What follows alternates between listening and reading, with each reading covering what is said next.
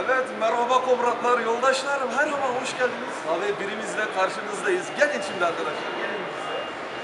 Hazır size sadece 55 bin mildeki bu mükemmel aleti Operasyon Barbarossa'da kullanılmış. Sadece keyfe keder iki mermi sektirmesi var. Bu mükemmel paletleri, mükemmel aleti sadece 716 taksitte size 55 bin milde toplam 5 milyon Alman markada satacağız. Evet, olmayan para birimine satıyorum arkadaşlar. Görmüş olduğunuz alet kışın çok güzel kullanılmak üzere keyfe keder gene kamuflajlı. Alt tarafta yürür aksamda hiçbir sıkıntısı yok.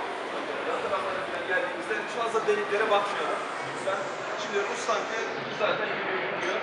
Bunun için seviye 4 değil, 5 değil, 6 bile yaptık bu tankı. İçindeki top sadece premium sıkıyor. Lütfen komratlar bu tankı kullanırken KV2 olduğunu hissedelim. KV2 hiç kalmadı. KV1 şunu biliyoruz.